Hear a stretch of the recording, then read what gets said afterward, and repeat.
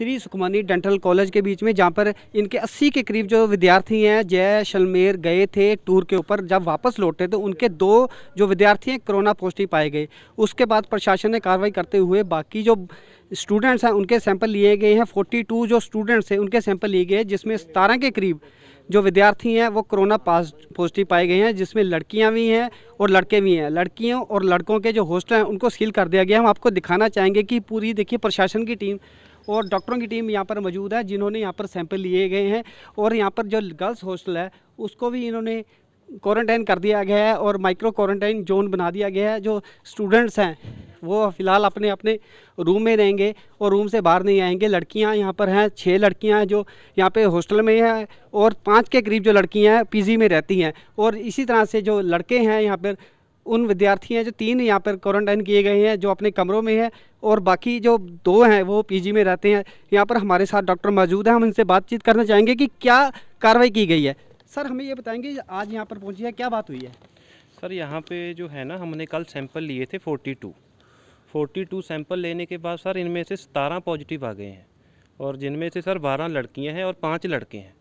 और इनका इनके एक डॉक्टर भी पॉजिटिव आए हैं, अपने कॉलेज के।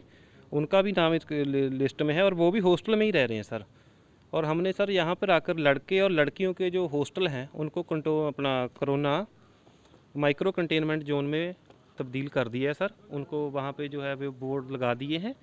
बोर्ड लगाने के बाद, सर, जो बच्चे, जैसे कि हॉस्टल में छः लड़कियाँ हैं और छः सर, पीजी में रह रही हैं लड़कियाँ। और छः वो रूम में अलग अलग सर, पहले से ही रह रही हैं। उनको हमने इंस्ट्रक्शंस जो हैं, वो दे दिए हैं, जो सेहत विभाग की तरफ़ से दिए गए हैं। और तीन लड़के सर हॉस्टल में रहते हैं और दो लड़के जो हैं वो बाहर किसी पीजी में रह रहे हैं सर उसकी डिटेल अभी तक हमें नहीं प्रोवाइड मिली।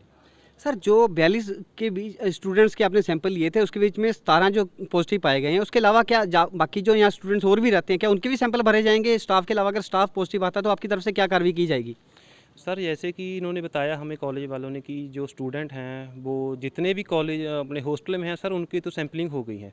और जो आउटसाइडर हैं सर वो अलग अलग डिस्ट्रिक्ट के हैं। और कॉलेज वाले उन्होंने बताया हमें कि हम ना उनको, उनके सैम्पलिंग है जो उनके डिस्ट्रिक्ट में ही हमने उनको कॉल वगैरह कर दी है और वो सैम्पलिंग करा के अपनी रिपोर्ट कॉलेज को सबमिट कर देंगे, सर। जिस तरह से कोरोना का कहर पंजाब में दोबारा मंडरा रहा है स्टूडेंट्स यहाँ पर दोबारा, पहले भी डेंटल कॉलेज के जो यहाँ डेरा बसी के डेंटल कॉलेज है, वहाँ भी स्टूडेंट्स पाए गए थे पॉजिटिव अब यहाँ पे श्री सुखमनी इंटरनेशनल जो डेंटल कॉलेज है, वहाँ भी स्टूडेंट्स पाए गए हैं।